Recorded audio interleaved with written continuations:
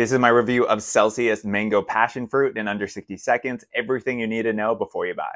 When I saw that Celsius came out with a mango passion fruit flavor, I knew I needed to try it. Passion fruit is my favorite fruit, and mango is up there pretty high on the list. I would rate the flavor of this drink a 9 out of 10. You can definitely taste that passion fruit. Now, I really like Celsius because they're gluten free and then there's no high fructose corn syrup. Each can has 200 milligrams, so it definitely gives you that much needed energy. The caffeine comes from green tea, which is definitely a less jittery, a more smooth experience. I can say that I'll definitely be buying more of these.